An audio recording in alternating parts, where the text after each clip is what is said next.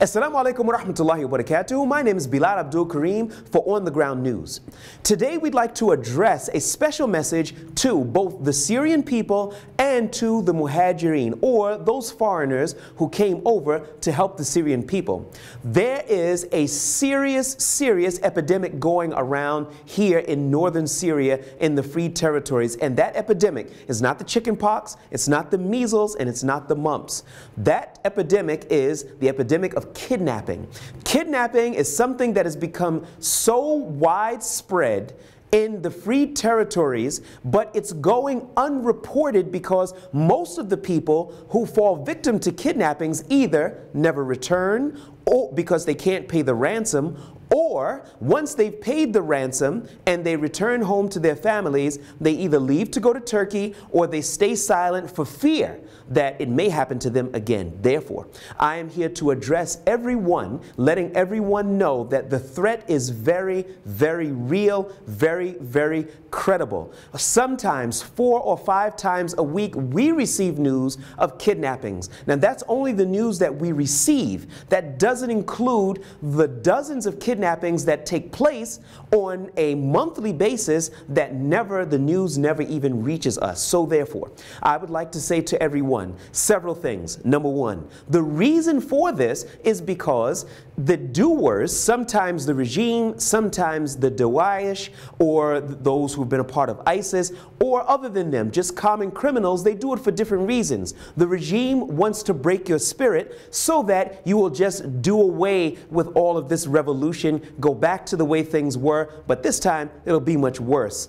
The second uh, thing, Daesh, well, that's just what they do. They just kidnap people and they play the role of spoilers by putting bombs underneath people's cars and so on and so forth because they don't believe that most of the people here in the freed territories are even Muslim and they're the only Muslims that people need to uh, uh, uh actually consider that they are on Islam. And the third group are common criminals. These common criminals are the people who are just opportunists that want an opportunity to pull in a few dollars so that they can go to wherever it was that they go to or crawl back under whatever rock that they crawled underneath from underneath. So, therefore, we would call on the people to do several things. Number one, be very, very vigilant in terms of where you are, your surroundings, and who is surrounding you.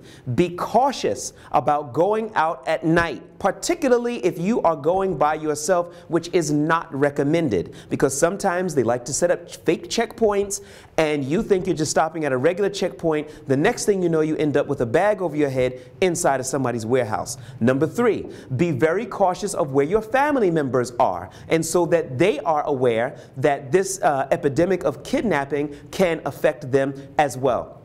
And finally, I would like to say that I do not believe that um, or I should say, next to last, I would like to say that I do not believe that things will get better unless and until people are aware of it and they confront these would-be kidnappers. Because many people carry weapons. They carry guns or so on and so forth. You have to make a decision before it happens.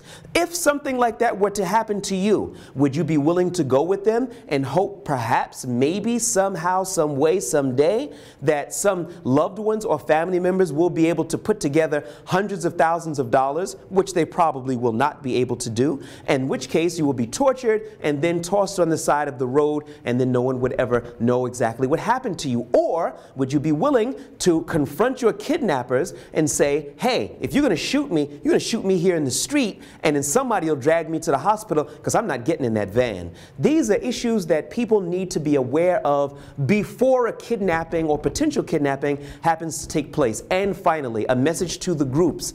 The groups which are here, I would like to say, some of those groups are working very hard in trying to track down these would-be kidnappers. And I ask the entire ummah to make dua for these people. And there are some groups that basically sit on their hands and do nothing but complain. And I ask Allah to have the ummah to make dua for those people so that they would come back and start working for the sake of Islam and trying to protect the Muslims. And finally, I would say that all of the groups that are here, along with the Syrian people, along with the Muhajirin, all need to come together because we can solve this problem and put these would-be kidnappers, be they criminal, be they Daesh, or be they the regime, because they're all in one bin, and put them back on their heels. My name is Bilal Abdul Kareem for On the Ground News. Assalamu alaikum wa rahmatullahi wa barakatuh.